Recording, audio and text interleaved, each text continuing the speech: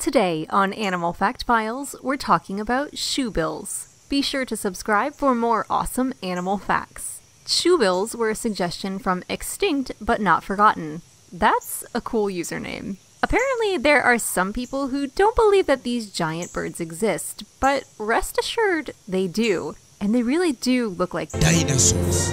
Shoebills could even be called B. rexes, thanks to their fantastic scientific name.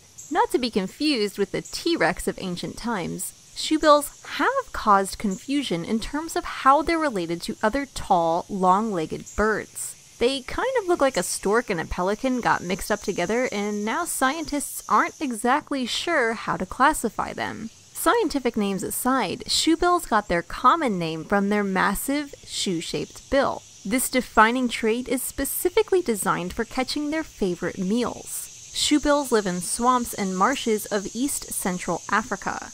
Within these slow moving waterways lurk lungfish, the tastiest treat for a tall shoebill stork. The low oxygen level in the swampy water means lungfish have to surface more frequently to get some fresh air, which makes them an easy target for the shoebill. A shoebill will stand perfectly still until the right moment and then quickly leap on their meal, scooping it and all other matter of material into their large bill. After dumping the excess, the shoebill chomps down and swallows its meal, and while lungfish may be their favorite snack, shoebills also eat other fish, rodents, snakes, turtles, and even young crocodiles. Yes, crocodiles. Did we not mention these guys are kind of huge?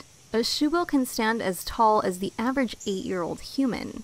Like we said, Dinosaurs. like all birds, shoebills begin their life as an egg, Shoebills almost always lay two eggs per nest. Mm, there's a reason for this, and it's pretty diabolical. See, the baby shoebills will hatch within about a month, but one egg always hatches before the other.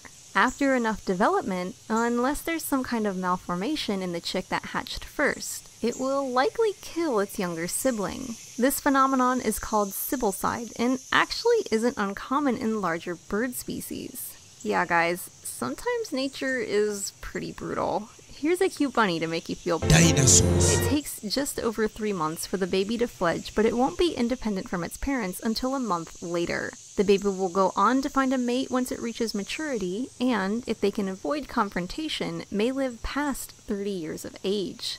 Another less than tasteful trick the shoebills perform is pooing on their legs. Now, we're going to be fair and say just like with their homicidal tendencies, there's a legitimate reason shoebills do this, and it's to keep cool. Thankfully for the shoebills, they're pretty antisocial and only really get together to mate and raise kids. So it's not like anyone is going to notice anyway. You do you, girl. Shoebills also clap their bills to make loud sounds. They're otherwise pretty silent, but they do this as a means of communication between their mate and their kids. Other storks do this as well.